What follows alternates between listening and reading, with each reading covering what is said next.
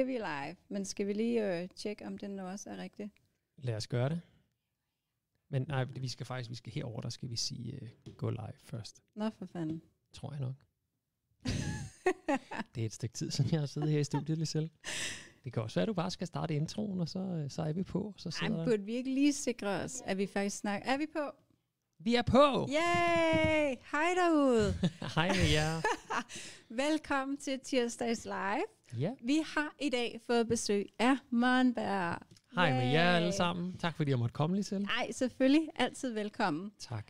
Det er jo sådan, at øh, I er gået i gang med et projekt, som du får lov til at fortælle lidt mere om. Jo. Og i den anledning, så har vi også besluttet, at vi har Chinchilla Uge uh. på vores øh, SoMe-kanaler. Fordi Ja. at det er et super vigtigt emne lige at sætte fokus på og øh, hjælpe jer med. Ja.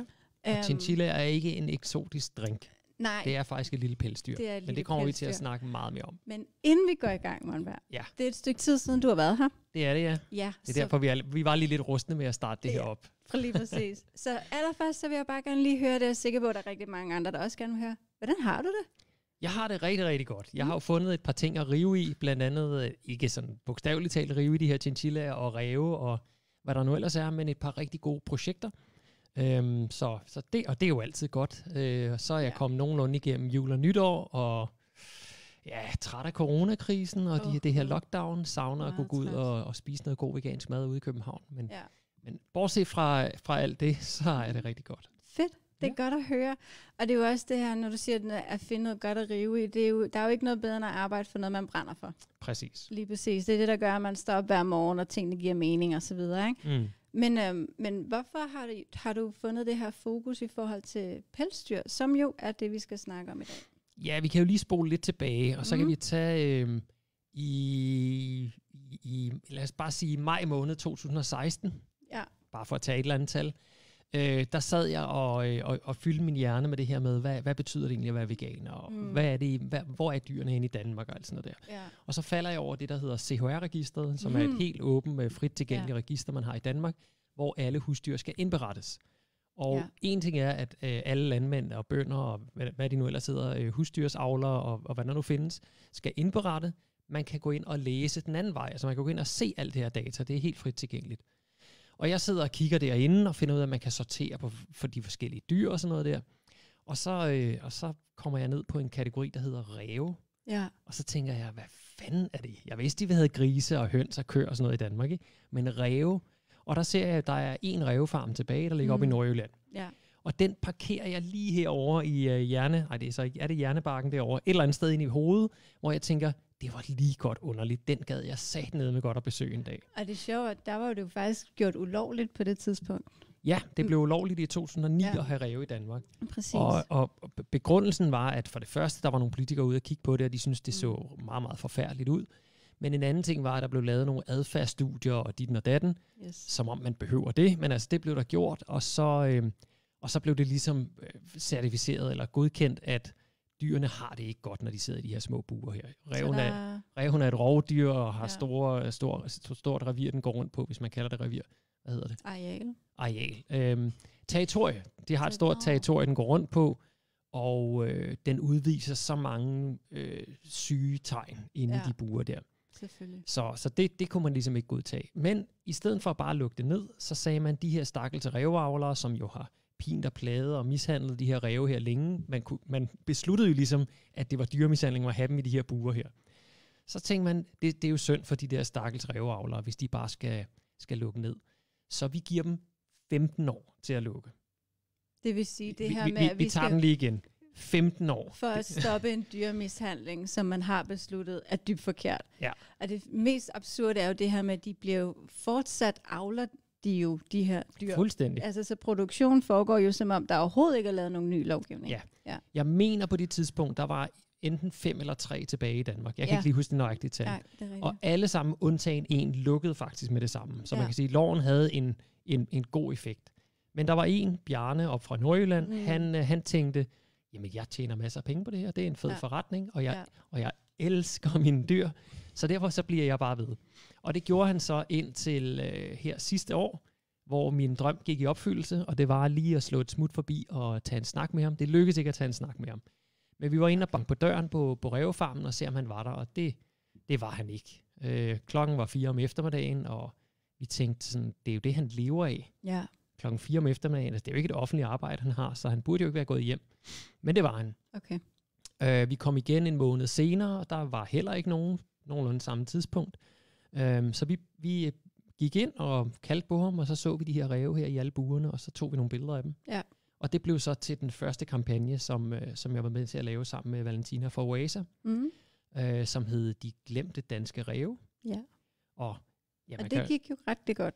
ja, det kan man sige. Altså, den, øh, den respons, der var mest af, det var, jeg anede overhovedet ikke, at det her det fandt sted i Danmark. Nej, præcis. Øhm, og det kan jeg jo sige, det gjorde jeg, men kun fordi jeg havde været inde på CH og, Men det er jo ikke ud. Almen viden, og det er jo det, vi tit oplever. Det er jo det her med sådan, nå, gør vi også det i Danmark? Mm. Gør vi også det? Og det er jo fordi, vi selv søger informationen og selv kigger rundt osv. Det er jo ikke offentlig viden på den. Nej. måde. Selvom den viden er offentligt tilgængelig, så er det bare ikke noget, vi taler om. Mm.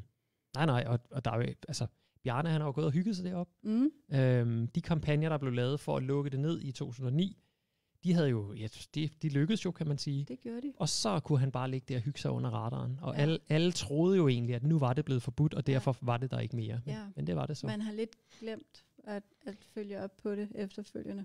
Ja, og nu har jeg ikke de præcise avlstal for Bjarnes ræve, men han havde 3.000 ræve i hvert fald, da han skulle lukke her øh, sidste år. Og lad os bare sige, at han har fået, hvad skal vi sige, øh, 2.000 ræve om året, eller måske 1.500, eller et eller andet den stil. Øh, og det havde han jo så tænkt sig i virkeligheden, hvis ikke han, var, han fik, øh, efter sine fik han nogle, noget, noget hjerteproblemer, og derfor så lukkede han. Spørgsmålet var, om det var det kampagnen, eller var det, fordi han havde hjerteproblemer? Det ved vi ikke, fordi han sagde noget forskelligt. Mm. Mm. Den ene dag, så sagde han, at nu lukker jeg. Den næste dag sagde han, at øh, nu skulle han have minkstøttemidler, og den næste dag, så sagde han, jeg bliver ved for evigt, og ellers så flytter jeg til Kina. Hvordan kunne han få minkstøttemidler? Det giver jo ikke nogen mening. Det var lige i minkkrisen der, hvor jo, det hele skulle lukkes ned. Nej, nej, men han havde jo ræve jo. Og så ville han da gerne lige øh, Nå. tvinges til at lukke ned, så han kunne få et par millioner oveni. Ikke? Ja. Altså, skrupelløs mand. Men okay.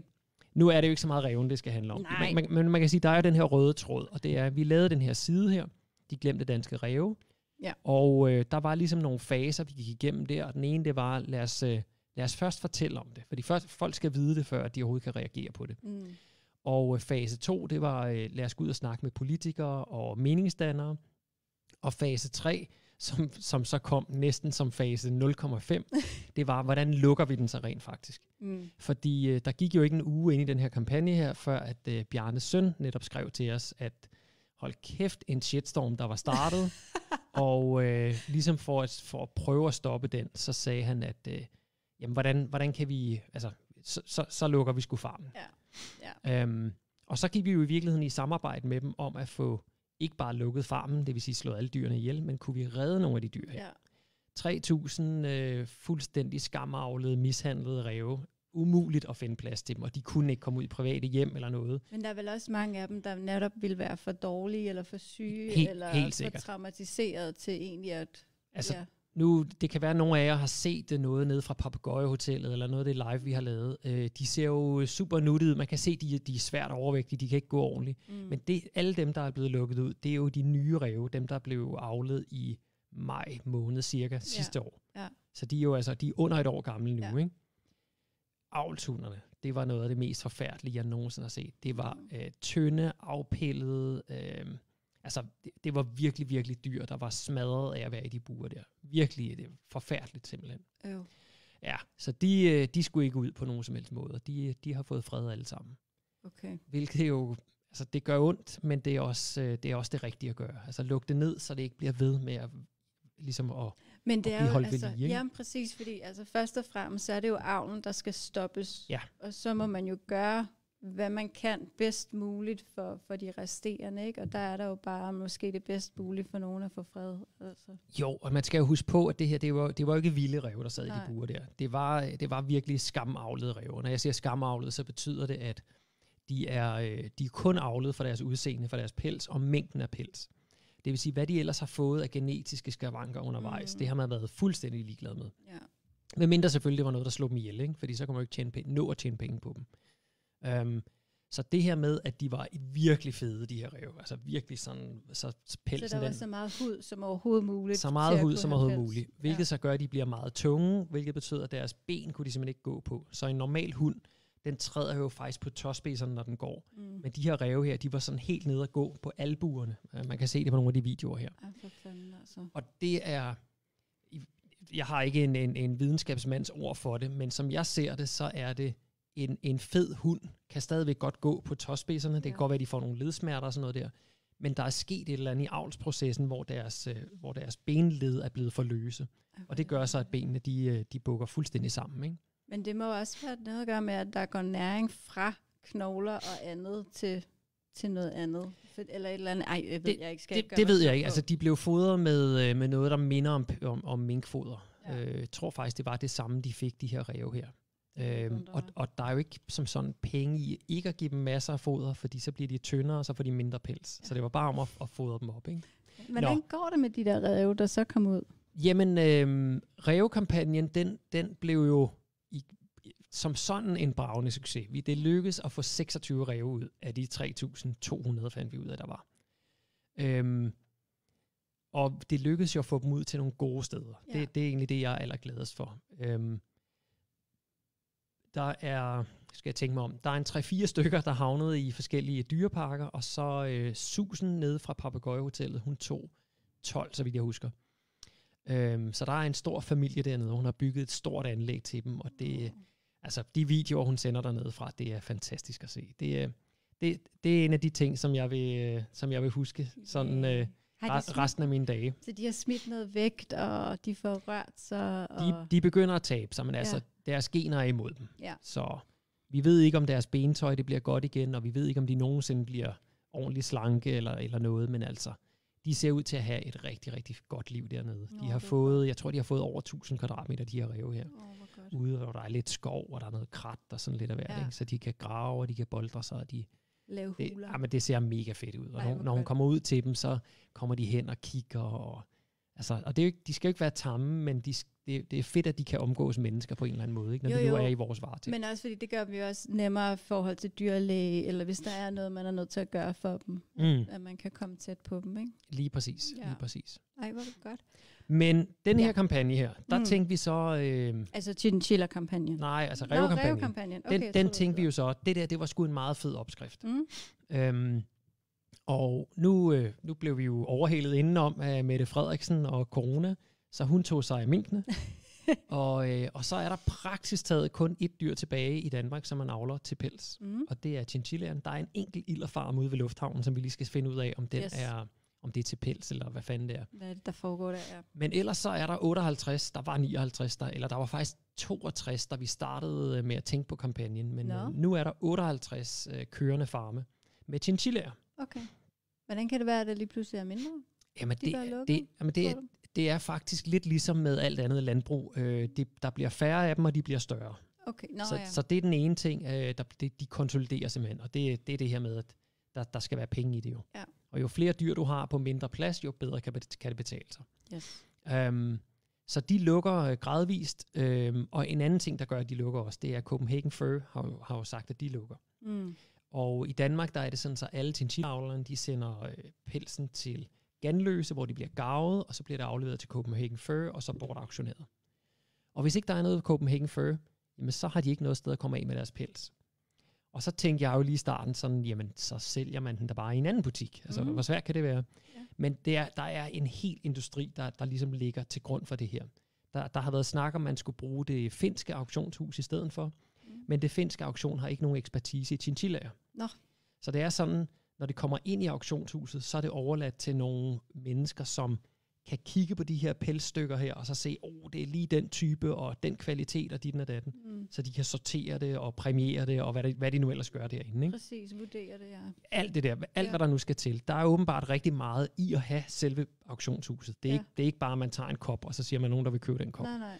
Man, man gør åbenbart en, en masse ved pelsen. Ja. Ikke sådan bearbejdningsmæssigt, men, men klassificering og alt det der. Ja. Og den ekspertise har de ikke hos Saga før. Okay. Så, så al den ekspertise, der er omkring, og ja, alt det der, Ja. videreformidling af pelsen, den, den mangler, når Copenhagen Fur lukker. Okay. Og så er der ikke noget sted for dem. Øhm, man kan sige, de er jo ikke afhængige på samme måde af minkfodercentraler og alt muligt andet, fordi chinchillaerne de spiser sådan nogle foderpiller eller, eller grønt. Øh, så den del af det kunne egentlig godt øh, køre videre. Men, øh, men det er simpelthen det her med afsætningen, der forsvinder.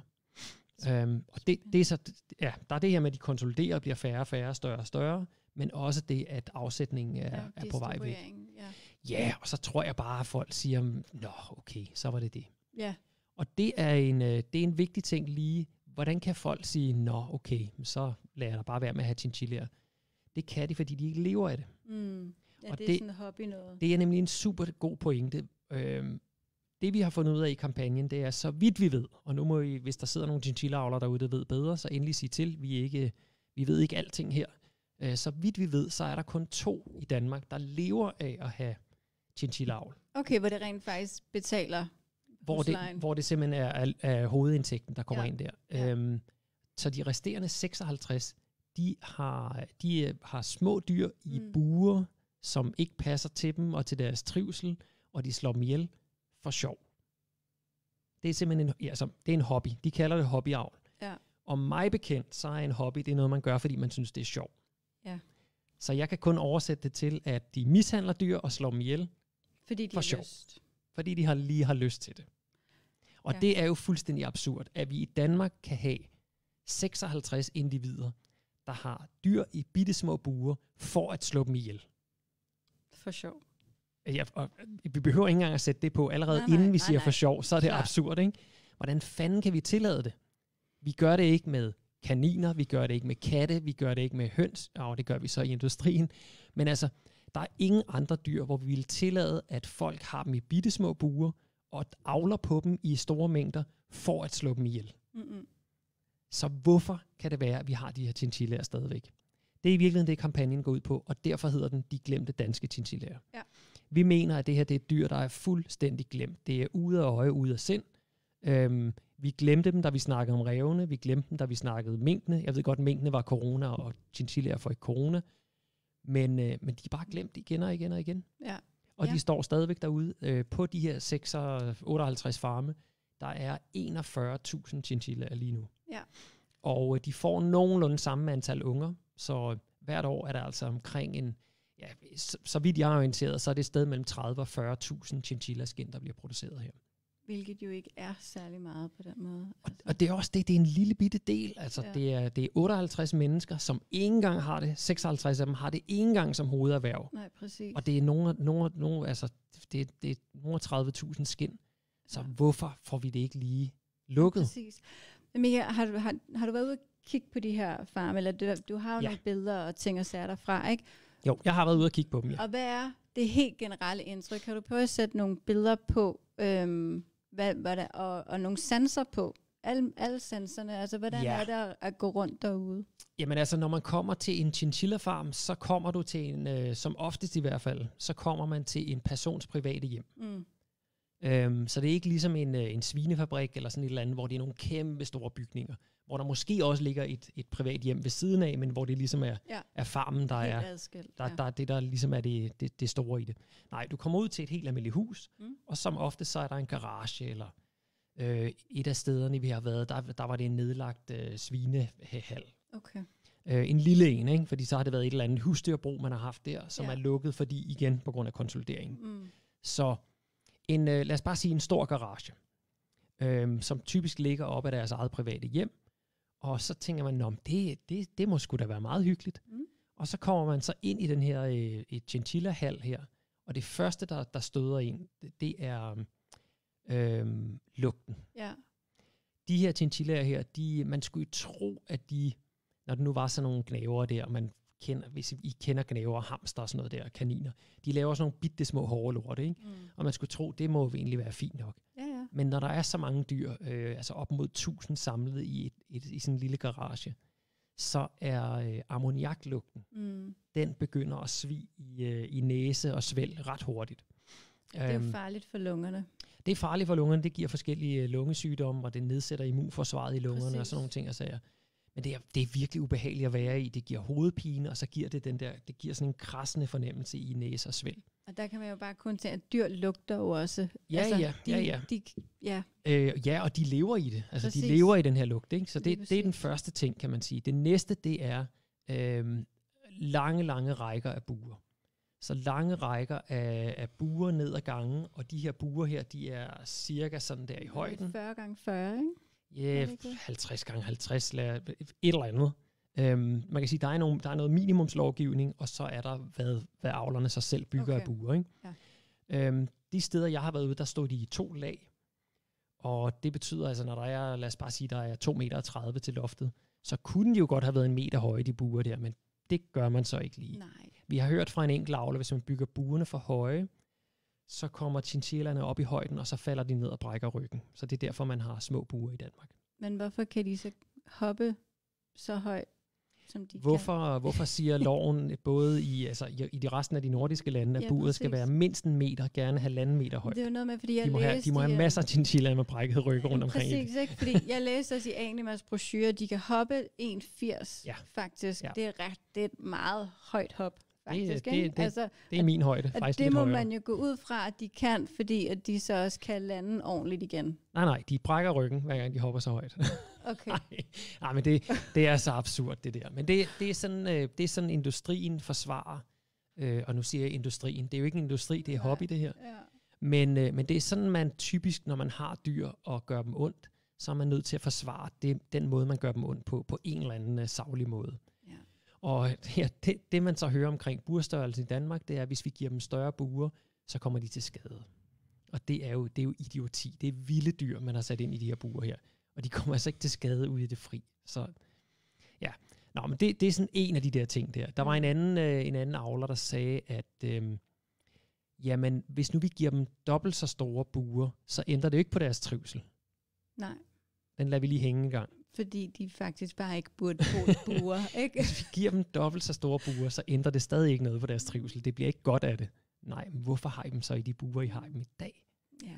Og uanset hvad, så vil jeg sige, hvis jeg boede i et lille bitte bur og fik et dobbelt så stort bur, så kan det godt være, at jeg ikke havde det dobbelt så godt. Men et eller andet ville ændre sig for mig. Nå, men tilbage igen. Der, der er Yes. altså øh, rækkevis, øh, rækkevis af buer på, på den her størrelse her. Øhm, og de her buer her, de er lavet på sådan nogle forskellige centrige måder. Der kan være noget med, at mellem buerne er der noget, noget hø og noget halm, Mm. som de så kan næppe ud. Der kan også være en, øh, en, en metalkasse midt imellem, som de kan sandbade i. Mm. Og der er så sådan en lille slider, som man kan åbne op for den ene chinchilla eller den anden chinchilla. Øhm, Okay. Og der er jo så en, øh, en enkelt avler, der siger, at øh, jamen, jeg har lukket det meste af tiden, fordi de skider ned i det sand der. Det er jo det er meget vigtigt for chinchillaer at kunne sandbade, men det, det kommer vi lidt ind til, når vi, når vi snakker om, hvad det er for nogle dyr her. Okay, fedt. Øhm, det, det er essentielt for deres overlevelse og trivsel, at de kan sandbade. Nå, Øhm, men, men den her avler her var sådan, ah, men de, det bliver noget gris, og de spreder sandet, og det, nej. Så de får lige lov en gang imellem, så, så er det heller ikke, så må det være nok med det. Nå, og så er der en, øh, en anden meget speciel ting ved, ved de her chinchilla-avlere, det er, de har rigtig mange hunder til få hanner. mm. Øhm, de, øh, der er nogle chinchilla-avlere, der siger, at øh, chinchillaer er polygame, det vil sige, øh, at i, i en eller anden retning, så, så har de flere øh, Ja. partnere. Ja. Øhm, det er noget, man tvinger dem til i Danmark. Vi ved faktisk ikke rigtigt, om de er monogame eller polygame ude i Nå. naturen. Øh, men det tvinger man dem til, og det gør man på en sindrig måde. Øhm, om bag buret, der er lavet en løbegang, Mhm. og den løbegang har et hul på denne her størrelse her. Mhm. Øhm, inde i den løbegang, der sætter man så en han. Så kan han løbe ud af alle hullerne ind til alle hundchinchillaerne. Typisk får de mellem 6 og 8 hundchinchillaer, de kan gå ind til. Og så tænker man, hvad med hunderne? Så løber de bare den anden vej. Nej, nej.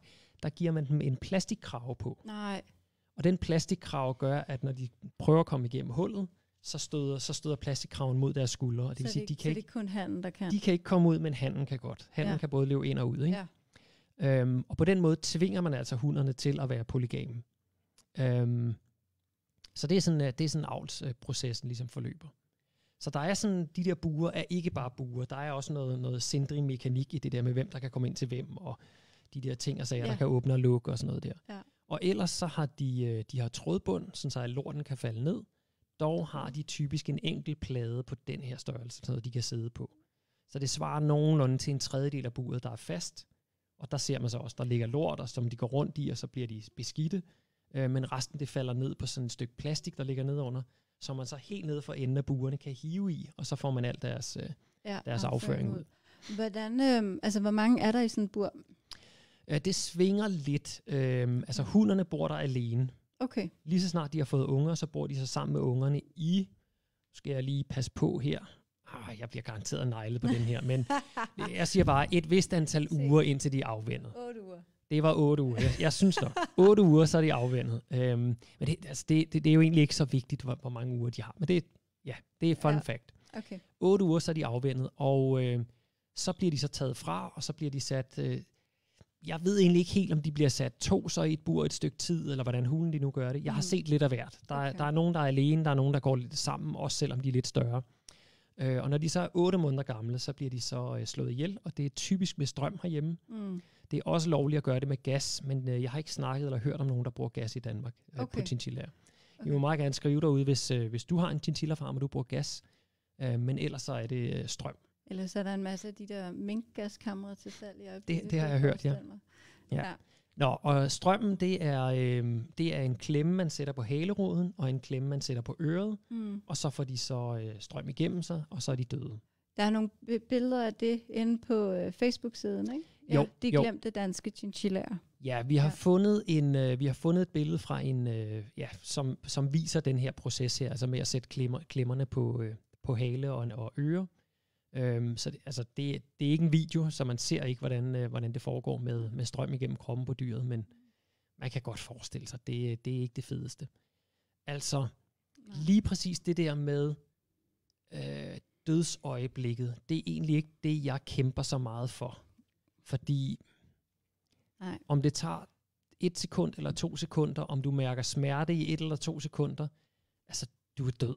Ja. Du er død ganske kort tid efter. Præcis. Øhm, Og det er bare selve det her rent principielle ved, at man i det hele taget avler, manipulerer, Ja. indespærrer Mm. og mishandler og gør overgreb på dyr på den her absolut Ja. fuldstændig absurde og unødvendige måde. og pointen er at slå dem ihjel. Ja. Altså, Ja. that's it. Ja. Jeg skal have mange af de her dyr her, så jeg kan slå mange af dem ihjel. Det, det er rationalet bag det. Ja, så er der råd til en lille ferie. Eller en uh, lille smart chinchilla-frakke, eller hvad det nu måtte være. Nå, Ja.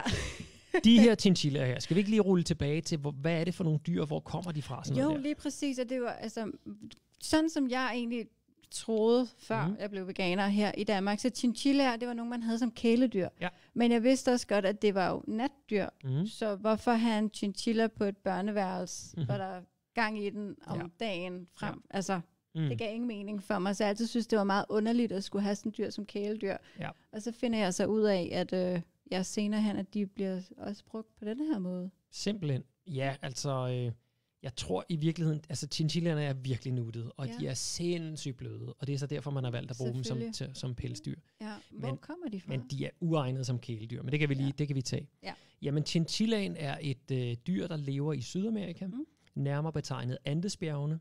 Så hvis I har, øh, hvis I har Sydamerika-formen her, den der klump oppe i toppen og den tynde der, så ude på, hvad bliver det, det bliver vestsiden, der ligger sådan en lang, lang bjergrække, der går hele vejen ned igennem øh, kontinentet, som hedder Andesbjergene. Mm. Og øh, der lever chinchillaerne i, jeg har set noget, der hedder 2,5 km højde og 3.000 meters højde og så videre. De, de lever højt op i bjergene, Ja, uden at falde ned og brække ryggen. og de gør det uden at falde ned og brække ryggen. øhm, og øh, det har de tilpasset sig, lige de, den her bjerg, øh, bjergkæde her. Øhm, der er det sådan, at der kommer vinden ind ude fra havet af, og så Mm. smider den al fugten. Og så, øh, så de her bjerge her, de er meget, meget tørre. Der er Mm. meget, meget tørt deroppe i bjergene. Okay. Og det har så gjort, at chinchillaen har skulle tilpasse sig til det. Så den har fået en meget, meget, meget fin pels, så den, gør, den kan, så den kan holde varmen. Øhm, men den har heller ikke den her pels, som andre pattedyr har, som kan tåle vand. Chinchillaer har det rigtig, rigtig skidt med at blive våde. Okay. Våde eller fedtet, det kan de faktisk ikke rigtig tåle. Så man Nej. må heller ikke pille for meget ved dem, fordi så Nej. vores fedt på hænderne går også ind i deres Ja, pels. ja, præcis. Øhm, de har en pels, der er så blød, så når du mærker den, så kan du ikke mærke den. Det, det, det, det virker helt tosset, det jeg siger her, men det er noget med, at de har 90 hår i hver hår øh, celle, eller hver øh, Ja. åbning i huden, der er 90 hår, der stikker ud af. Okay. Så du kan næsten forestille dig, at den blødeste sminkepensel, du har haft, Ja. den føles som sandpapir i forhold til en chinchilla. Wow. Så det har så gjort, at nogen har taget ned til de her Andesbjerge her og fundet ud af, at øh, de der, de er sat med bløde der. Dem kan vi tjene penge på. Og så gjorde man det i starten øh, af, af, af pelsæraen. vi snakker sådan noget 100 år tilbage. Øh, jamen der begyndte man så bare at fange de vilde chinchillaer ind. Ja. Og sælge dem som pels. Øh, men for omkring de der 100 år siden, der fandt man så også ud af, at de, det, det er okay nemt at holde dem. Altså, der er lige noget med noget luftfugtighed og noget Mm. temperatur, man skal overholde. Mm. Men ellers så er det, øh, det er en gnaver, og derfor så er den relativt nem at holde. Ja. Så der begyndte man at, at, at fragte chinchillaer til blandt andet USA. Øh, og der har man faktisk haft chinchilla farm lige siden. Det første spor på chinchilla farm i Danmark, det er garanteret forkert, men så vidt jeg ved, så, øh, så ellers, jeg har hørt noget om tilbage i 60'erne, at man, at man begyndte sådan at have farmer hjemme. Okay. Og det kan godt være, at der har været nogen før, men det er i hvert fald det, jeg er klar Ja, fordi over. minkproduktion, den er jo sådan omkring 100 år gammel. Eller, eller Ja, ja, lige præcis. Ja. Øh, og det kan også godt være, at chinchillaerne er ældre end det, men det, det er i hvert fald lige de ting, jeg har stødt på. Okay. Øhm, de her chinchillaer her, de er stort set uddøde i deres naturlige habitat. Ja. Øhm, halvdelen af populationen, omkring 5.000, de lever i, i noget øh, indelukket øh, sanctuary, et eller andet Wow. større område. Og Det er fuldstændig vanvittigt, så vi har Ja. bare fuldstændig drevet rovdrift, så der ikke er flere. fuldstændig, ja. Og, og det bliver stadig gjort. Altså, de bliver stadig slået ihjel for deres pels dernede. For Nu er der bare så ikke så mange tilbage af dem. Nej. Så det er den ene ting. Altså, vi har ødelagt den her naturlige bestand, og vi har faktisk også ødelagt meget af deres naturlige habitat. Ja. Igen med græsning af dyr og øh, landbrug og skovhugst og hvad der nu ellers er af ting og sager, man gør dernede i Sydamerika. Yes. Så det er den ene ting. Og den anden ting er så dem, vi har taget her til, øh, til USA og til Europa. De er, øh, de er avlet igen på grund af deres pels i forskellige farver og dit og datten. Så ge- genetisk kan de simpelthen ikke føres tilbage igen. Nej, vi, vi har haft snakket med en, øh, nogle af dem, der faktisk har det her, øh, ikke rehabiliteringssted, men, men det her sanctuary for chinchillaer nede i Sydamerika. Ja. Og de siger, jamen altså, der er ikke noget at gøre. Vi er nødt til at, at restaurere bestanden dernede. Øh, vi kan ikke tage nogen af, af, af avlschinchillaerne dernede, for det, det vil simpelthen ødelægge deres, øh, Ja. deres genetik. Ja. Så det er en blindgyde, vi er ude i. Og det er en blindgyde, som skal ende blindt. Altså, den, den skal stoppe simpelthen. Vi, Ja. kan ikke, vi kan ikke blive ved med at avle på de her dyr her. Men det var sådan set chinchillaerne. Dernede, der lever de i kolonier. Mm. Øh, op til flere... øh, Jeg, har sådan, jeg har læst lidt forskellige hundreder af individer. Okay. Om det så er 100 til 150, eller det er 200, eller hvad det nu er, det, det ved jeg ikke, og det, det er måske ikke så interessant i virkeligheden, men, men det er sådan et, øh, det er ikke et flokdyr som sådan, men det er et kolonidyr. Ja. Større kolonier. Okay. Øhm, og øh, på grund af deres pels, den er så fin, så kan de faktisk ikke få lus og lopper. Nå. De kan simpelthen ikke leve i den her helt, helt, helt tætte pels. Nej, der er ikke, de kan ikke rigtig gribe fat, måske. Nej, lige præcis. Ja, Og øh, den eneste øh, pelspleje, de ligesom har, Mm. det er at, øh, at tage støvbad. Ja, det var det, du snakker om med før med Støvet, støvet gør et eller andet ja. med at rense deres pels for Ja. ja. fedt og, øh, og urenheder. Ja. Og det er åbenbart noget, chinchillaer kan bruge timer på hver evig eneste dag. Nå. Så hvis man ser nogle, noget video og sådan noget, hvis, der bliver, hvis man kan finde noget på YouTube, der er ikke meget af det, fordi igen, de er natdyr. Men det der er, så er det typisk øh, en chinchilla, der ligger der og roder rundt i noget støv og, og hygger sig. Sådan rigtig nuttet. Lige præcis. Ja. Um, og så er der øh, den sidste ting der, det er, at de er natdyr. Eller de er faktisk ikke natdyr, de er tusmørkedyr. Tusmørkedyr. Ja, så de er allermest aktive, når det bliver... Jeg kan høre, din telefon brummer. Ja, det er rigtigt. Øhm, de, de er allermest aktive. Skal jeg bare køre videre? Du bliver nødt til at underholde. det er sådan lige, når man har børn hjemme på coronaskole. Jeg er lige nødt til at Ja. hjælpe min dreng. To Det gør jeg gerne. Take it away, Monbær. Nå, de her chinchillaer her, de er allermest aktive i skumringen. Det er altså, når solen er på vej ned, og lige når den står op. Men de er også aktive i løbet af natten. Øhm, og det gør, at de er elendige kæledyr. Nu, jeg skal sige, at jeg har aldrig nogensinde haft en chinchilla selv, så det kan godt være, at de kan være gode kæledyr, men umiddelbart så er de på ingen måde egnet til det. For det første, det her med, det, med deres pels og deres støvbad og rigtig temperatur og lav luftfugtighed osv., men også det her med, at at du kan ikke bare lukke dem ind på et børneværelse, og så få forventet, at de har det rigtig godt derinde. For det første, så holder de øh, ungerne vågne hele natten, øhm, og for det andet, så kræver de altså også, hvis de skal have det nogenlunde, så skal de have rigtig, rigtig meget plads. Så Men det, det er ligesom et, øh, det er et kapitel for sig, det her med, øh, med at have dem som kæledyr. Apropos kæledyr, så ved vi, at der er en del af avlerne derude, som øh, er de her hobbyavlere, som sælger dem til netop til kæledyr. Og der går jeg ud fra, at de faktisk tjener lidt bedre, end hvis de sælger skinnene. Så til alle jer, der sidder derude, find nogle andre kæledyr end chinchillaer. Det kan godt være, at de er mega søde. Jeg er selv fuldstændig forelsket i dem. Men øh, vi har internater fyldt med katte og hunde og alle mulige andre Der dyr. mangler hjem. Ja, gå ud, gå ud og tag dem først, inden du, inden du går ud og giver en avler penge for de her chinchillaer her. Ad- Adopt, don't shop. Ja, og jeg, og jeg vil sige, et, et rigtig godt argument for ikke at gå ud og købe sådan en chinchilla her, det er, du, du giver jo penge til folk, der har dem i bitte små buer, for at de skal blive ved med at have dem i små buer. Så du holder faktisk hele det her, øhm, hvad man kan sige, mareridt for, for de chinchillaer, som du ikke tager hjem og giver al din kærlighed og al din plads og lykke osv. Alle de andre chinchillaer, dem giver du penge til, at de skal være i den her industri her. Og Det er jo, altså, man glemmer jo meget det her med avlsdyrene, ikke? Mm. Altså dem, der ja, netop fortsat skal leve i det der mareridt, ikke? Ja. Fordi det er jo alle deres unger, der måske kommer ud til nogle okay steder, eller hjem, eller whatever, men, men der, Mm. der ligger bare nogle avlsdyr og gør hele arbejdet, ikke? Jo. Ja. Det, det, er okay. det, det er sgu ikke rart, og det, det synes jeg ikke, man skal støtte på nogen som helst måde. Nej, nej, nej på, på ingen måde.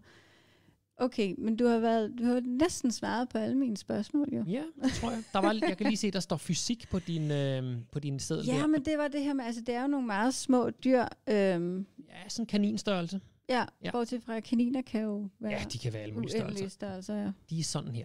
Sådan der. Hvad er det? det de er på størrelse med en, øh, med en honningmelon. Ja. ja.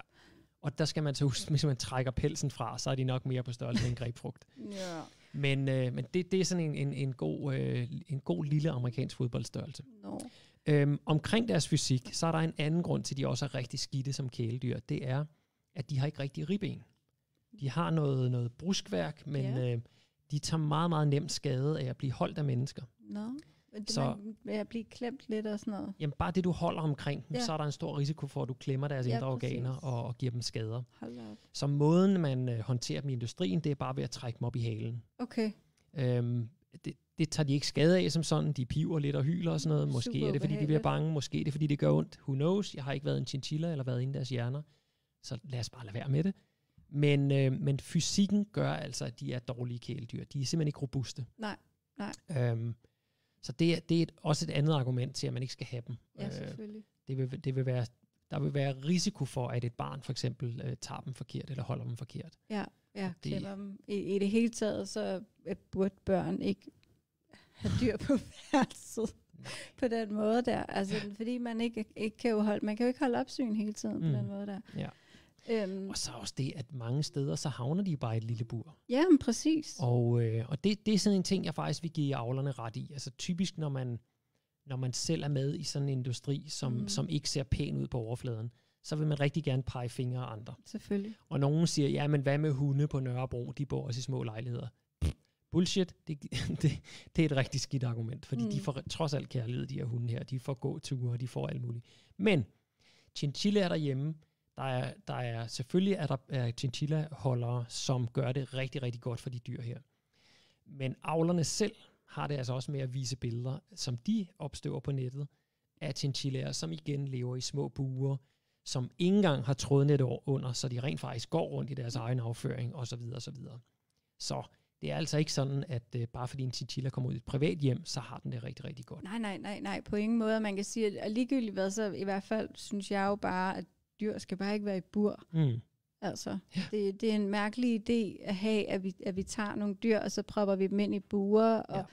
I starten synes man, det er helt fantastisk, at man sidder med det her dyr flere timer om, Mm. om dagen og så videre, men pludselig så er det bare en hverdag, og så Ja. glemmer man lidt, at det der bur faktisk sidder alene 23 timer i døgnet, ikke? Jo, og så lugter buret, og så skal man gøre det rent hele tiden, og så bliver det bare sådan en sur ting. Ja, ja, præcis. Det, og det, altså, hvor, hvor, mange, øh, hvor mange kan vi ikke huske fra folkeskolen, som fik en hamster eller en. Ja. et eller andet, ikke? Jo, jo. Og så skulle vi hjem og se den, og ej, hvor er den nuttet, men den lugter lidt, og er den ikke lidt klam, og skal vi gå og spille Playstation i stedet for? Ja. Eller Nintendo, eller Ja. ZX Spectrum, eller hvad det nu var, det her. I, I don't know. øhm, så så Nej, det er rigtigt. altså, kæle, kæledyrene har, altså, det, der, der er mange triste historier derimellem. Ja. Ja. Så adopt, don't shop, og øh, lad være med de eksotiske kæledyr, fordi som meget ofte, så er der jo en grund til, at de ligesom er opstået og tilpasset sig Andesbjergene. De er ikke tilpasset sig et, øh, Et, et, stu, et, et stuegulv i Herlev. Hvad hedder det? Okay, så I har den her kampagne med fokus på chinchillaerne. Ja. Og hvad er, hvad er målet? Altså, hvor, hvor er I hen, og hvad er, hvad er jeres tanker, og hvad er det for noget samarbejde, I også har med Mhm. OASA? Det var mange spørgsmål i. Det, det var mange. Lad os, lad os, øh, lad os bare tage Oasis, for den Mhm. er relativt nem. Ja. Jamen, øh, Valentina, som jeg laver kampagnen sammen med, hun er jo øh, hun er i bestyrelsen i Oasis. Ja. Og derfor så var det naturligt ligesom at bruge de kræfter, der ligger der. Øhm, der er noget ekspertise, og der er noget, øh, der er noget know-how, og noget historik, og en side med nogle følgere og så videre. Ja. Så hvorfor ikke bare lave det i, i de regi der? Hvorfor opfinde det hele fra, fra grunden af? Øhm, så det er, egentlig, det er egentlig historien med OASA. Mm. Det, var sådan, det, det var det nemmeste, og det er en fed forening. OASA i øvrigt, det står for Organization Against the Suffering of Animals. Det, Smukt. det er jo lige præcis det, vi er imod. øh, vi er imod enhver, enhver lidelse hos dyr. Ja. Øhm, Jamen, det er en rimelig etableret forening, der har været i mange år, ikke? jo, lige Ja. ja. præcis. Lige præcis. Øh, den har haft et andet fokus til at starte med. Der var det mere hundesager og sådan noget der. Ja.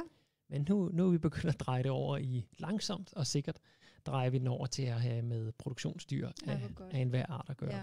Så det er meget spændende. Fedt. Øhm, kampagnen. Mm? Øhm, målet, det er selvfølgelig at få lukket al pelsavl i Danmark. Ja, tak. Så man kan sige, øhm, den hedder De Glemte Danske Chinchillaer, og omhandler chinchillaerne. Men hvis I går ind og kigger på opslagene, så kan I også se, at den, den, den, den handler jo også om det her med, lad os nu, lad os nu stoppe den her pelsavl her. Den er, den er grim, den er modbydelig, og den er utilstedelig. Så det, øh, det, det, det hele skal lukke. Men det, var altså, det er jo pinligt, at vi i Danmark er nogle Mm. af de sidste, der faktisk stadigvæk har Ja. lovlig pelsavl i Europa. Ikke? Og det er en, Altså. det er en super god pointe. Vi Mm. bryster os jo altid af I, og det er det bedste, og det ene og det Perfekte andet. dyrevelfærd, og vi er så gode. Vi kan, vi kan bare tage chinchillaerne, der har vi nogle af de mindste bu- buer, i, hvis vi sammenligner med de nordiske lande. Mm, Præcis. Øh, så allerede der, der er vi i bundpladsen. Så hvis argumentet er, som det sædvanlige er fra industrien, Mm. jamen hvis vi ikke gør det, så er der nogle andre, der gør det dårligere. Ja. Det, det, det gælder faktisk omvendt på os. Vi gør Præcis. det dårligt, så i virkeligheden burde vi lugte. ja. Sådan så de andre lande så kan have chinchillaer. Det er det, og det er jo også sjovt, at jo, altså mange af de lande, vi så tænker, de gør det dårligere, de har det gjort det ulovligt. Lige præcis. Jeg Altså. så, øh, Kroatien fik Ja. det forbudt i 2017, Ja, og jeg tænker, Kroatien, altså nu, ja, Jeg har selv øh, en ekskone og børn med, øh, med, med baltiske rødder, så jeg kan godt tillade mig en lille smule at ringe på næsen af dem.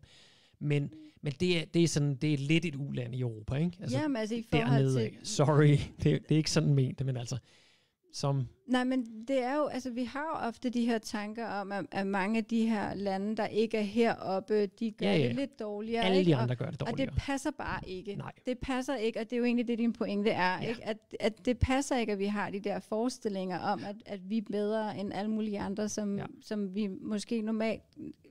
Ja, Skal jeg, jeg kan ikke huske helt rigtigt, men så vidt jeg husker, øh, Makedonien, Kroatien har det forbudt, Rumænien, Ungarn. Ungarn har det forbudt. ja. Øhm, det er forbudt i, øh, i faktisk en del af de, øh, Det sådan, de klassiske europæiske lande har Ja, det også forbudt, eller har det præcis. lige på tegnebrættet. Ja. Et land som Schweiz har lavet et rigtig, rigtig interessant forbud. Ja. De har faktisk ikke forbudt det. Det er, det er tilladt at have alle dyr til pelsavl, eller hvad du nu ellers har Okay. brug for. Men de skal holdes under de samme regler, som zoologiske haver holder dem. Ah, Og det betyder, at øh, tre chinchillaer nok skal have hvad, 50 kvadratmeter og nogle, nogle sten, de kan klatre på, og det ene og det andet og det tredje. Ikke? okay, fordi jeg sidder Hvilket straks og er sådan lidt, okay, men hvor fede er de der zoologiske haver Mm. så, ikke? Altså, Men, men det betyder, at der findes ikke noget som helst pelsavl i Schweiz. nej, fordi det praktisk er umuligt egentlig at have en profit på det. Du kan umuligt tjene penge på det, og Okay. derfor så findes det ikke. Nej, nej. Hint, hint, hint. Det var måske en måde at gøre det på. øhm, nå, Nej. men, men målet med kampagnen her, det er altså, det er chinchillaerne. Den burde være så nem, ikke? Det er Jo. 58 avlere. En stor del af dem er allerede ved at lukke, fordi Copenhagen Fur lukker. Lad os nu bare få det afsluttet. Altså, og som jeg sagde tidligere, de 56 af dem har det ikke engang som hovederhverv. Nej, De er bare dyremordere øh, som hobby. Det er bare fordi, det er sjovt. Øhm, så det, det skal bare lukke.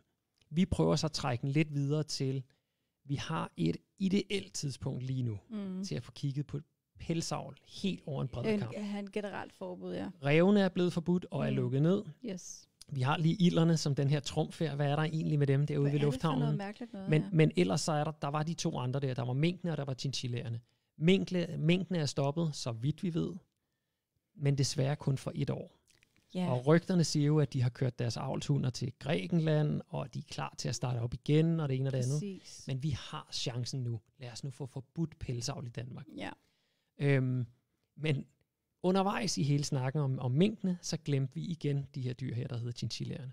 Så øh, de skal altså også lige med ind i, øh, i forbudspakken. Præcis. Mm. Og en interessant ting her, det er, øh, da minkloven blev lavet, altså det her med, at alle minkene skulle slås ned, Mm. der skrev formanden for danske chinchilla-avlere faktisk ind til Folketinget, om ikke de kunne komme med i pakken. Så formanden for deres forening har allerede haft en føler ude på, kan vi ikke lige gøre et eller andet, sådan så vi også kommer med i hele den her nedlukning her. Altså, jeg, altså jeg, jeg bliver sådan lidt kynisk og bare tænker, nå ja, I vil også bare have fingrene ned i statskassen. Altså, fordi hvis det er hobbyavl, så er det Højst jo... sandsynligt. altså- Højst sandsynligt har det, har det handlet om, at hvis vi lige kan få 1000 kroner per chinchilla, Ja, så og jeg, det og jeg har fedt. 1000 chinchillaer, det er en Ja. million kroner. Ja. Og hvis jeg øvrigt kan få dem ligesom minkavlerne sådan med, med en længere årig, du ved, derudaf, så jeg får en million kroner i fem år eller et eller andet, det ville sgu da være dejligt, hva'? Jeg synes, det er helt absurd. Det bliver fandme så vred over den der... Det, det er bare mennesker og penge, altså. Ja. Det, det er som, som det altid har været med, Ja. med, med os. Okay, men er, er der nogen, altså har de en specifik lovgivning også, altså chinchillaerne, er der noget, man kan kigge på der, eller det hører bare ind under pelsavl? Ja, altså mig bekendt er der nogle, øh, nogle retningslinjer fra Fødevarestyrelsen. Mm. Øhm, og det sjove er, at de retningslinjer, øh, guidelines, de siger faktisk, at buerne skal være mindst en meter høje og så fremdeles. Og det er de ikke. Så der, et eller andet sted, der må ligge noget lovgivning. Jeg har ikke gået så detaljeret, så, så jeg har læst det. Okay. Men der må være nogle minimumskrav til burstørrelsen. Som faktisk ikke bliver overholdt, mener du? Nej, som nok bliver overholdt. Men den øh, Fødevarestyrelsens øh, vejledning til chinchillahold, den siger, at buer er en meter gange en meter gange en meter. Men det er en vejledning. Ah, det er Så bare du- sådan så- det så- bør... Ja, ja, så okay. du har en lovgivning, som er minimumskravene, og det er selvfølgelig dem, du lever op til, Ja. for du skal tjene penge. Yes. Og så er der, hvis du skal gøre noget. Hvis, du, hvis klart, dyrene skal have ja. det godt, så skal du gøre sådan Men det er klart, man må heller ikke øh, kastrere grise, medmindre Nej, nej. at det er nødvendigt, eller halekupere, medmindre det er nødvendigt. Lige og så præcis. videre. Så ja. derfor sælger vi automatiserede maskiner til at gøre det. Ja, Ja. ja lige Selvom du præcis. ikke må. Ja, Og du ikke rutinemæssigt må gøre det osv. nej, nej. Men det, det er et sidespor. øhm, Det er bare så absurd, hele denne her måde, vi har en, en omgang med dyr på i Danmark. Ja. Altså, det, øh, ja, vi, der er brug for et paradigmeskifte, som vi også talte om, før vi gik på. Ikke? det må du nok sige. Altså, det, og det ved jeg, I kan hjælpe med derude. Lige præcis. Altså, og, øh, ja, jeg synes, det er hammerende vigtigt, at vi sætter fokus på nogle dyr, hvor øh, ofte så kan det blive meget abstrakt det her med, at vi snakker om millionvis af dyr og Mm. et helt landbrug og alt det her. Men hver gang vi ligesom zoomer ned og ser ja. På, på nogle individer og et mindre antal, så ligesom at vi bedre kan kapere det og forstå, mm. hvor forkert og absurd det faktisk er. Ikke? Ja. Og så, øh, og så altså det, jeg godt kan lide ved den her kampagne her, sjovt nok kan jeg godt lide den, når jeg selv er med i den, Mm-hmm. men det, jeg godt kan lide ved den, det er, at den er lille, den er afgrænset, og den er Mm. håndgribelig. Ja. Ræve-kampagnen igen, det var én farm. Mm. Come on, det er, det er 5,9 millioner mennesker mod en. Mm. Det burde kunne lade sig gøre, ikke? Ja. Og nu er vi altså 5,8999 et eller andet mennesker mod 56 eller Ja. 58. Ja. Det burde kunne lade sig gøre, det her. Vi burde som samfund kunne beslutte, at den her form for dyremishandling, den skal vi bare holde op med. Det skal vi bare holde op med. Øhm, så og, og det, det, er egentlig det er en rar ting ved den her kampagne her. Det er altså ikke, det er Ja. ikke et land, hvor du har landbrug og fødevare, og du har øh, hundredvis af politikere, der selv har været svineavlere og alt muligt andet. Du har de her 58 mennesker her, Mm. Som er en, altså, hvis du havde 58 mennesker, der, øh, hvad skal vi sige, øh, gik rundt og hældte gift ned i kloakkerne hele, øh, hver Eller anden dag, havde øh, små hundefarme. eller havde hundefarme, eller gjorde et eller andet, som Ja. var moralsk forkasteligt, Mm. så, så ville vi godt kunne stille os sammen og sige, nej, nej, kammerat, den, den går Den sgu ikke går- rigtigt, det der. går Det, det altså skal du lade være med. Og, og det, ja. det tror jeg også, vi kan her. Ja, det tror jeg helt sikkert. Og jeg tror, det, jeg tror, vi kan, hvis vi gør det rigtigt, så kan vi få det gjort i 2021. Så, så målet er her i 2021 at simpelthen øh, gøre, hvad I kan for at lægge pres på de her med en stor opbakning og, Simpelthen. og fokus og alt. Ja. Ja. Cool. Og, og, og så skal det siges, at øhm, selve nedlukningen, jamen lad os, lad os få den gjort ordentligt. Altså, vi har ikke tænkt os at gå, gå ud med en dammtrummel og jævne der hele deres hus og, og så videre med jorden. Garagen og huset med og sådan noget. Nej, øhm, lad os få det gjort ordentligt. Altså, lad os få lavet en kompensationsordning. Måske ikke lige i minkskalaen, men, øhm, men altså, men de, hvis det bare de her mennesker her, jo, men ja, ja altså, og det er det, det, er det der er sådan, så svært. Ikke? Hvis 56 af dem, hvis det bare er en hobby, så er det bare at stoppe. Ja, Men dem, der rent reelt lever af det, øhm, de skal måske have noget, noget videreuddannelse, et eller andet den stil. Og det kan man sige, okay, hvis du skal ind og tage en gymnasiel uddannelse, det tager tre år. mm, Okay, så lad os finansiere de tre år. mm. For de to mennesker, det handler om det her. Ikke? ja. Og hvad skal de have? De skal have øh, 250-300.000 om året, så kan, de sådan, så kan de leve af det. Øh, og så kan de gå i skole, det er trods alt gratis i Danmark. Øhm, så kan de komme videre. Så, Ja. det, så lad os bare sige, for 2 millioner kroner, så vil man kunne få omskolet de her to til at lave noget andet. Det, jeg, kan- jeg kan godt sige, ja, principielt gør det bare lidt ondt i maven, ikke? men, Jo, men, jo, jo, jo. jo, men det er jo men, fint, at man har nogle, nogle idéer altså, til, hvordan jo, men, man kan men, komme jeg, jeg synes også, det skal være fair. Altså, vi kan, vi kan ikke vi kan ikke straffe nogen retrospektivt. Nej. Altså, vi kan ikke sige, det nu kan gør vi det ikke. her ulovligt, så Mm. du gjorde det i forgår, så derfor skal du straffes. Nej, nej. Vi- Selvfølgelig. Vi, som hele Danmark, har Ja. tilladt, at vi havde de her farme her. True, Og det må vi stå til ansvar for. true. Vi har, Ja. ikke, vi har, vi har, ikke, øh, vi har ikke fået det forbudt i 2020, eller i 1990, eller i Nej. 1970. Vi, Nej. vi, vi gør det i år. Vi gør det i Amen. 2021. Mm. Og så må vi også stå til ansvar for, at vi har tilladt de her mennesker at have det. Så hvis ikke vi skal straffe dem retrospektivt, mm. altså bagud i tiden, så er vi også nødt til at give dem en fremtid. Jeg synes, det er helt i orden at hjælpe folk videre mm. til, at, til at kunne lave noget andet. Ja. Helt sikkert. Jeg vil dog ønske, at de her mennesker her ligesom kunne fornemme, at Hvad det var, det var nok tid til at lave noget andet. Ja, Så, altså. så lad være med at avle, avle videre på det og finde på noget andet at lave. Ja, ja men helt sikkert. Øhm, ej, jeg havde lige et sidste spørgsmål. Som, Ja. øh, nej, jo, Sag, nu... sagde øh, du sidste spørgsmål? Ej, men der er snart, vi har snart siddet her en time, ikke? Ah, men det er så hyggeligt, jo. det er så hyggeligt. ja. Ej, Vi, jeg skulle vi lige løbe, øh, hvis ikke du ja, kommer i tanke nej, om det, så lad os løbe rigtigt, nogle spørgsmål fordi igennem. At, øh, jeg har lagt mærke til nogle spørgsmål, mm. og øh, jeg tror ikke rigtigt, vi, øh, vi, vi kan tillade os at lukke, før en øh, høre, om du har noget kommentar omkring mig. Jo, øhm, Maj Ejskov. Nej, det har jeg ingen kommentar til overhovedet. øhm, øh, ja, der var det her Facebook-opslag med, at øh, Maj blev truet af samtlige jordklodens veganere, og det var enormt synd for hende. Det synes jeg ikke. For det første øh, ved vi ikke rigtig, hvem der truede hende, om der var nogle trusler, for det har hun ikke rigtig vil vise. Øhm, pels i Danmark er øh, udskammet af alle mennesker. Mm. Kødspisere, ikke kødspisere, Ja. yogaister, crossfitter, dyreelskere, øh, alle mennesker De kan ikke lide fleste pels. kan jo godt se, det er fuldstændig absurd at, Ja. ja. at have dyr i buer udelukkende for en frakke. Så hvis hun har fået nogle trusler, Mm. så kan det fuldstændig lige så godt, eller måske endda med overvejende sandsynlighed, være fra en kødspiser. Og lad mig lige fortælle dig, hvorfor jeg tror med overvejende sandsynlighed, det kan være for en, okay lad os kalde det en ikke-veganer. Det er, som veganere, der støder vi på dyremishandling i helt usigelig skala hver evig eneste dag. Ja. Når vi går en tur i supermarkedet, så ligger der døde, øh, parterede dyr alle vegne. Øhm, I nyhederne, når vi snakker med familien, når vi spiser frokost i kantinen på arbejdet, alle steder flyder det med døde mishandlede dyr. Så hvorfor fanden skulle I være så interesseret i 58 chinchilla-avlere? Mm. Det er, det, nu, nu kører jeg selv en kampagne mod dem, men dybest set, så kan det ikke få mit kog. Jeg vil, jeg vil så meget hellere lige få lukket svineindustrien og hønseindustrien og alle de andre i morgen. Ja. Men, men det her, det er bare, det er håndgribeligt. Hvis Det vi kan gøre det her, så, så, så Men det åbner Altså- også op til, at man ser nogle andre perspektiver generelt, ikke? lige præcis. Så, men, men det var egentlig, hvorfor jeg, hvorfor jeg mener, at, øh, at, at, at veganerne har ingen interesse i mig og, mm. og i Mm. hendes øh, lille bitte chinchilla-farm. Det er, der er så helt sindssygt meget større problemer derude. Ja.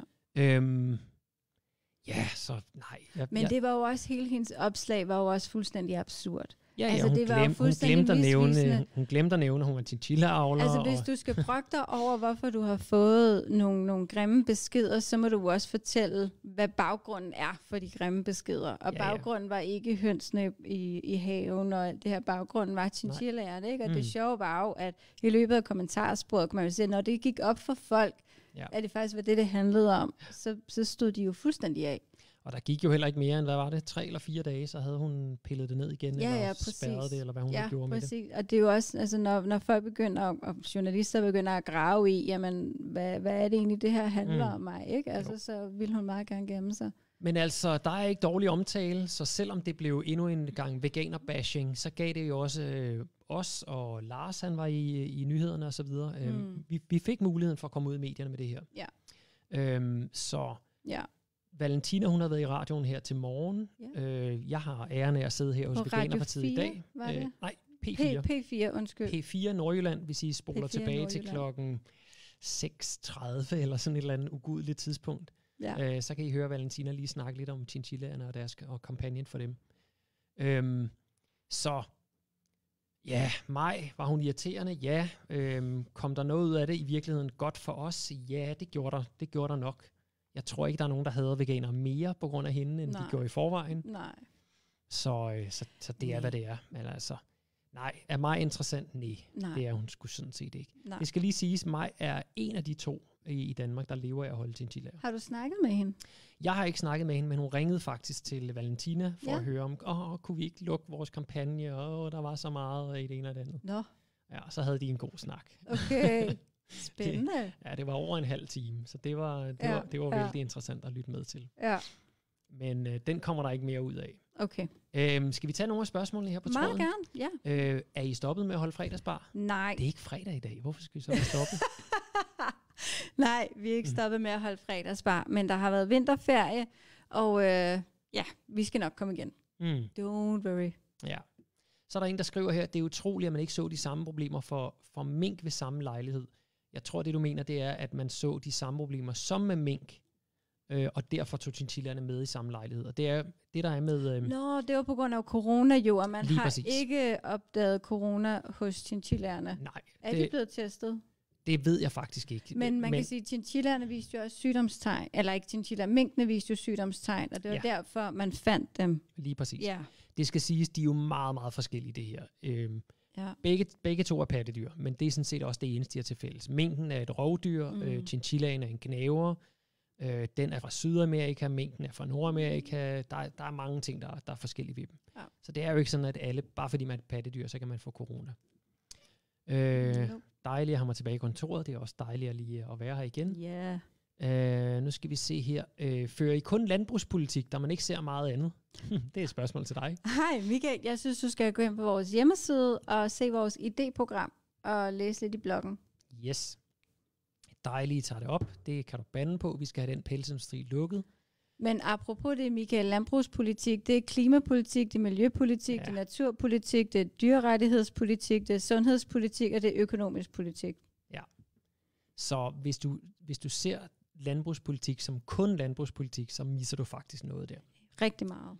Ja. Øhm, der er en, der spørger, er chinchillaerne blevet coronatestet? Jeg, jeg, jeg ved det faktisk ikke. Men det er jo det der med, at det nok ikke er nødvendigt, ikke? Fordi Nej. hvis de ikke viser sygdomstegn, så er der Ja. ikke rigtig noget at teste. Nej. Og minkene viste jo sygdomstegn, og Yes. derfor blev de testet.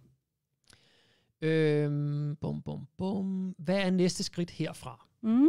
Og der går jeg ud fra et spørgsmål, det er omkring kampagnen. Ja. Og, og, altså, vi, er, øh, vi står lige nu og har lige over 2.000 følgere på kampagnen, Mm. og det skulle vi gerne have til at vækste lidt mere. Jeg vil Ja. sige, at Rev-kampagnen nåede 7.700. Ja. Øhm, Og, der, Mås- og jo mere måske man... endda højere, måske er den faldet lidt siden. Ja. Men det, der er ved det, hvis vi skal lægge pres på politikerne, så øh, ja, det er en snak, jeg har haft før den her. Politikere nu, i hvert fald i, i Danmark, nok også i resten af verden, de er ikke længere ledere. De er populister. De er populister, det vil sige, de gør det, de følger befolkningen. Ja. Så hvis vi skal have dem til at gå i en eller anden retning, så er de nødt til at se en befolkningsgruppe, der går først. Og det betyder altså, at vi skal have en, øh, vi skal have en Facebook-side med, med bål på, simpelthen. Ja. det, det må I alle sammen rigtig meget gerne hjælpe os Så med. del i grupper. Del opslagene, både på jeres egen side, men også i alle mulige forskellige grupper. Øh, få det spredt så meget som overhovedet muligt, så vi kan komme derud og virkelig vise, at der er folkelig opbakning til det her. Ja. Og det kan vi så, når vi når lidt længere hen og har den her folkelige opbakning, så kan vi bruge det til at tagge politikere, skrive breve til dem, sms'er, ringe til dem, alt muligt andet. Vi har møde i næste uge med Karl Valentin Så fra godt. SF, Mega Den- godt. den eneste, mig bekendt, eneste veganske politiker i Folketinget. Ja, men det er det, ja. Øhm, så han vil i hvert fald øh, starte det op og se, hvad han kan gøre derindefra. Og det er, fordi vi har den her opbakning her. Hvis jeg bare havde sagt til ham, hvad Karl Valentin, skal vi ikke snakke om chinchillaer? Så kan det godt være, at vi havde fået et møde eller et eller andet, men, men hvad er ligesom, øh, hvad er momentum i det her? Og Ja. momentummet, det kommer fra alle jer derude, som deler og liker og laver støj omkring det her. Og man kan jo også skrive til sine lokale politikere. Lige præcis. Er det, kan det virkelig være rigtigt, at vi skal have en garage i vores kommune, Ja. ja. der er fyldt med dyrmishandling? Kan vi ikke lige gøre noget ved det? Al- Lige altså præcis. simpelthen lægge pres, også lo- på lokalpolitikere, men Mm. også folketingspolitikere. Inde på siden, der har vi lavet et post med et kort, hvor man kan se, hvor de ligger hen, de her chinchilla farme. Og ellers var der CHR-registret. Ja, man kan gå ind og tjekke præcis, hvor den ligger inde på CRR-registret. Men kig på kortet, hvis du bor i nærheden af en rød prik, så ligger der altså en chinchilla-farm i dit område. Ja. Og så spørg lige, øh, skriv til en lokalpolitiker og sige, jeg er da ret overbevist om, at min stemme til dig, den ikke skal gå til, at du støtter chinchilla-avl, ikke også? Yes. Og så vil de sige, nå ja, det er selvfølgelig rigtigt. Ja. Øh, og jo flere politikere vi kan få til at sige, øh, nej, jeg synes ikke, det der chinchilla-avl er i orden, Jo, jo større chancer er der for, at vi kan få det lukket. Præcis. Så det er sådan set øh, fase 2, kan man sige. Mm. Det er det der, øh, en ting er, at vi bygger store, nu begynder vi også at, Bygge op af. at, at, Ja. at, at, at lave støj udadtil. Og så det sidste, det bliver jo ligesom med Rævefarmen, når de begynder at lukke dem her, kan vi hjælpe dem på nogen som helst måde? Kan vi hjælpe dyrene på nogen som helst måde? Ja. Og det bliver altså noget af en opgave. Der var 3.200 ræve, hvor vi fik reddet 26. Der er 41.000 chinchillaer lige nu. Ja. Hvad Men det må være noget at gøre med, at man, man bare ikke starter næste avlsperiode. Det er helt sikkert. Det, altså, det må være den ene det ting. er jo også det, man er nødt til at gøre i forhold til grisen. Ikke? Der er Mm. 30 millioner grise om året. Ja. Det, altså, vi er nødt til at stoppe avlen og Mm. ligesom udfase produktionen. Lige præcis. Ja. Og det, det vil jo være en del af, af udfasningsplanen. Ja. Men, men der vil jo også være nogen, der siger, Nå, så lukker jeg. Og så står de med 500 dyr eller sådan et eller andet. Og det er jo så en, en udfordring, hvad vi så gør. Fordi vi ser faktisk helst ikke, at de kommer ud til private. Nej. Øhm, ikke, ikke at lige præcis du ikke kan passe en chinchilla rigtig godt og give den et godt liv. Men vi ved det ikke. Nej. Og det, det vil virke, jeg vil, altså, det vil gøre så ondt på mig, at vi finder ud af et halvt år efter, at øh, nogen har fået en chinchilla, og de ikke har behandlet den ordentligt, at de har givet den videre til tre andre hjem, fordi Ja. de fandt ud af, at den bed i tæppet, eller Ja, larmede om natten, eller et eller andet. Ikke? Ja. Så jeg, jeg vil egentlig hellere have, at industrien løser det problem, som de har skabt. De har lavet de her underlige hybrider af nogle pelsdyr, som Ja. ingen plads har i naturen, som har, øh, ja, som har skavanker og lidelser, som vi måske ikke engang kender til, de har. Ja. Øhm, industrien og, øh, og vores syn på dyr har skabt det problem. Og jeg synes egentlig også, at industrien og dem, der har skabt problemet, de selv må løse det. Og, og, og løsningen vil være, hvor hård den end er, så vil det være, at, øh, at de her dyr, de bliver, de bliver dræbt alle sammen, som jo har været tilsigtet hele tiden, Mm. øh, og bliver lavet til pels, og så kan man få solgt det og komme af med det, og så, og så kan man stoppe avlen. Ja, ja. Lige, lige præcis. Der er en, der spørger, om avlerne selv dræber dyrene, eller hvordan. Og så var der det her med Copenhagen Fur, det har du så ikke hørt, Marie. Hov. Mm. Men, øh, men de er jo lukket, så chinchillaerne stod og De, lukker. lukker. Ja. Så avlerne står og har et problem, da Copenhagen Fur var eksperter mm. i chinchilla, og det er for eksempel Saga Fur ikke. Så øh, ja, der er et problem der i forhold til at få dem distribueret. lige tilbage til det der, avlerne dræber selv deres dyr. Så det er en af de industrier, hvor man som avler tager sig af alting selv. Mm. Øhm, for eksempel i svineindustrien, der køber man som oftest øh, ornesæd et sted fra, eller man køber smågrisen et sted Ja. ja. fra, og så videre. Ja. Man, har, man har som ofte en, en brudstykke af den her... Øh, Ja, det er jo specialiseret ud, ikke? ja, ja, så, Ja. så laver man lige det, man selv er god til. I chinchilla-branchen, der er det sådan, så du tager dig af det hele selv. Det eneste, du egentlig ikke øh, ordner, det er for eksempel at, at dyrke fodret til de her dyr her. Det køber du lige udefra, ikke? Eller lave frakken. Eller lave frakken, ja. Men, men Ja. ja. Øh, hele det her med at holde hænder og hunder, få dem til at avle, få ungerne til at blive, øh, øh, øh, hvad hedder det, armet, fravendet, øh, vokse op, aflivning af dem, selve pelsning af dem gør man også selv, altså det her med at flå dyrene. Øh, og så første del af processeringen af pelsen, det der, hvor man, øh, man udtørrer pelsen. Men Michael, de elsker jo deres dyr. De elsker Står deres de dyr. så og flår pelsen af dem? Det gør de, ja. Ja. Af hver en af dem.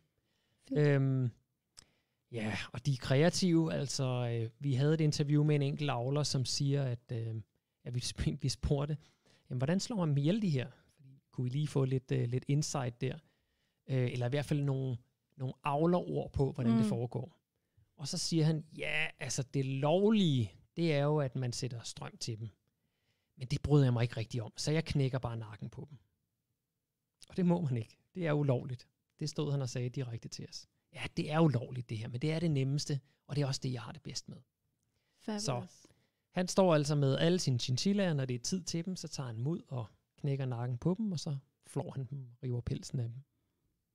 Det er nogle, det er altså, åh, hvordan har jeg det med de mennesker her? Øhm, det havde du lige lyst til at spørge dig selv om. Ja, men fordi det, det er noget, der dukker op igen og igen. Fordi ja. På den ene side, så står jeg og siger til, at s- snakker om dem, som om, at de er um, rappende gale.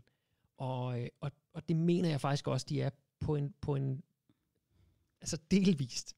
Der, hvor det har med dyr at gøre, der er de simpelthen ikke fornuftige oven i hovedet. Fordi de udsætter nogle dyr for ting, som, øh, som ikke giver rationel mening. Mm. Altså, kommer du udefra og kigger på det, så vil du tænke, lad være med det Mm. øh, eller, det der, el- eller en voldsommere reaktion. Det er min reaktion, det er at lade være med det. Det er det vildeste, jeg kan øh, præstere. Øhm, men de her mennesker her, de er familiemennesker, og de er gode ved deres hunde, og de er, Gode fædre og de er mødre. fantastiske at tage en øl hen over kammerater, øh, ja. hvad hedder det, øh, hækken med, og alt muligt andet. Altså, det er jo ikke sådan, at jeg ser de her mennesker som værende onde i, i det hele taget, mm. men de udfører nogle onde handlinger, og de forklarer over for sig selv, hvorfor det ikke er ondt at gøre. Ja. Så det er det bedste, Men, jeg kan sige om dem, det er, at de, de er forskroede, når det kommer til det, de selv gør mod Men det er jo også, altså jeg har gået på sådan en lille skole ude på Østerbro, hvor der også var dyr og så videre, og der har vi jo lært at slagte en høne, ikke? Mm. Altså vi havde høns, og så Ja. tog vi de her høns, og så skulle de slagtes, og vi stod og hæv i nogle nervebaner inde i kroppen, så vi kunne se, at, at tæerne gjorde noget, og Mm. det var, det var biologitimen på Ja. ja. den skole, ikke? Og, øh, og, og det, det var jo helt fint og normalt og, og, og godt. Og, altså det der med, at man, man står og kigger på det i dag, og tænker, gud, hvor fuldstændig unødvendigt at skulle, at skulle tage og, og gøre. Altså, Ja, og det, og det og er, det det er er jo en kultur og en, en, en hvad kan man sige, altså det, det er jo det, vil man lærer, og- vi er, vi Ja. er det, vi lærer. lad os tage det lidt ekstreme eksempel. Mm. Det er soldater. Mm. Hvis ikke du træner en soldat til at ignorere det, at du står over for et andet menneske, Mm. som jo ligger helt indbygget i os. Vi gør ikke andre mennesker ondt, Mm. som udgangspunkt i hvert fald. Det er jo en kerneværdi også, En, ikke? en del af det at være soldat, det er at være parat til at gøre et andet menneske ondt. Ja. Og det skal man lære, og det tager lang tid, og det er, jeg, jeg har selv været i, i militæret. Øhm, du, man kan kalde det hjernevask, man kan kalde det desensitivering, man kan kalde det mange forskellige ting og sager, men du bliver, du bliver trænet i at kunne øh, yde vold mod et andet levende menneske. Mm. Og øh, det er det, vores industri også bygger på. Byggeklodserne er, som du selv siger, jamen i skolen, der ser vi lige nogen, der står med en økse og hakker hovedet af en kylling, ja. Ja.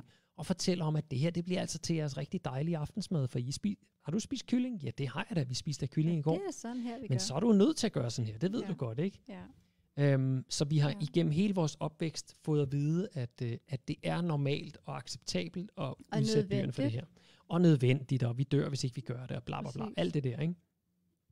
Så i virkeligheden, så ser jeg de her avler her lidt ligesom en soldat. Øh, har været, de har været igennem en proces, højst sandsynligt af deres egne forældre, som mm. Nok har været... Og kulturen og samfundet generelt, ikke? Ja, ja, ja. Altså, de, mange af dem siger selv, at øh, så, øh, så var deres, øh, deres far var øh, grisebunden, og mm. Fætteren var minkavler, og det ene og det andet. Ja. Så de er i den kultur der. De, de er vant til at se mennesker gøre dyr ondt. Mm. Og derfor så, øh, så er der ikke så langt til at gøre det selv.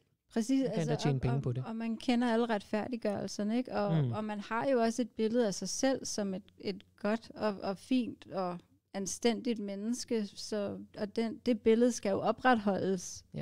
et eller andet sted, ikke? Jo, lige. Ja. præcis. Ja, Thomas skriver, at man skulle tro, at avlerne var helt empatiforladte. De, er, de, de har i hvert fald ikke empati over for deres egen dyr. Det, det kan man jo konstatere. Øh, de er ikke helt empatiforladte, Nej. fordi de har empati over for alt muligt andet. Ja. Og det, det, det er, ja, det er sådan, det er sgu weird, altså. Det, det, og en, det her har vi en rigtig god grund til lige at anbefale at gå ind og tjekke Melanie Joy. Ja. Egentlig, altså Melanie Joy og, og hvad hun har forfattet af forskellige ting. Hun er doktor i øh, sociologi og øh, noget psykologi og super interessante betragtninger, hun har gjort sig omkring det naturlige og normale og nødvendige i, Mm. i, ja, i at have med dyr at gøre på den her Ja. måde. Lene spørger lige her til sidst, hvorfor mm. Dræbe alle chinchillaerne, hvis de kan komme ud til nogle professionelle? Hvilke professionelle skulle det være? Og det, det vil vi også rigtig gerne. Vi ser jo øh, zoologiske haver, det kunne være en mulighed. Altså zoologiske haver bør jo ikke have alle de her eksotiske dyr, og, øh, og altså, zoologiske haver burde lukke. Men de kunne have en meget, meget vigtig rolle. Det er efterhånden, som Veganerpartiet og andre organisationer får succes, så vil der jo være øh, dele af den her industri, der lukker. Og hvis ikke zoologiske haver kan hjælpe der, hvad hulen er så deres berettigelse? Ja, jeg ser dem fuldstændig som, som store rescue-centre. Det burde de være. Det er de jo ikke i dag. ligesom med Det er de jo ikke i dag, det- ja. ja, nede i Knuttenborg og så Ja, videre. lige? At det kunne være deres funktion frem for øh, Mm. den underholdningsindustri, der ligger Ja. i det i dag. Og det der jo også lykkes netop med Rævekampagnen, som, øh, Ja. øh, som bliver skrevet her, øh, hos, øh, Lene skriver. Øhm, vi fik jo 26 dyr ud, som kom ud til professionelle, og det, Mhm. det så vi super gerne. Men, Men Lene, 41.000. vi har 41.000 chinchillaer i Danmark. Ja. Øhm, realistisk, så kan vi få 50 ud, et eller andet. Ja. I don't know. Ja. Noget af den stil. De er jo, de er jo nej, jeg skulle til at sige, de er nemmere at have end revne, men det er de faktisk ikke, fordi de kræver lav luftfugtighed og Mm. 22 grader. Så de Ja. kan kun bo indendørs. De kan ikke bo udendørs i Danmark. Lidt Øhm, ligesom abe bu, øh, gorilla stedet i Københavns Zoo eller Ja. sådan noget. Ja, lige præcis. Ja. Så ja, jeg, jeg ser sgu ikke sandsynligheden som værende særlig stor, men vi, vi, øh, vi gør i hvert fald vores bedste, det skal jeg love dig, Ja. øh, for at få de her dyr reddet. Men de kan ikke gøre det uden hjælp fra jer. Nej. Nej. Så kære venner, støt op om kampagnen, del vores opslag, like, øh, skriv kommentarer, hjælp os i kommentarsporet. Ja, og Få ved det- du det hvad, bredt. Vi øh, lige lærte i går, at øh, Mm. et like tæller ikke i algoritmen, ligesom, eller i hvert fald ikke i lige så høj grad som sad face, angry face Mm. og wow face og hjerter. Ja. Øhm, så kommentarer og i de andre emojis. Reaktioner andet end likes. Ja. Meget, meget gerne. Yes. Ja, så kan vi få den her kampagne til at gå viralt, og vi kan få politikerne til at se det, og så kan de lære, at øh, det er der sgu nok noget populisme i. det er, hvor, hvor trist det end lyder, så er det desværre det, som, som vi er afhængige af. Man må at, spille øh, på de, de knapper, gør. man kan. Simpelthen. Ja. Skal vi sige, det var det for Det var det. chinchillaerne? Fedt at have dig tilbage, Monberg. Ja. Og øh, det har været mega hyggeligt og mega lærerigt. Altså, det, er- det er så fedt, og jeg håber, du øh, kan komme igen måske i en fredagsbar og lave noget fis og ballade. Ja, det kunne være, der kommer nogle andre dyr, der bliver lavet kampagne for på et Det tidspunkt. gør der jo nok. så Der kan vi, er masser at vælge imellem stadigvæk. det er jo det. Ja, men uh, tak, og tak for jer derude at kigge med. Og ja, like, del, støt op, gør hvad I kan. Og så uh, må I bare have en fantastisk tirsdag. Og holde øje med Chinchilla-ugen på Veganerpartiet SoMe. Og efterfølgende selvfølgelig blive ved med at, at, uh, at hjælpe de glemte danske chinchillaer. Shout out til Daniel Bus, som kører øh, de glemte danske chinchillas Twitter-konto.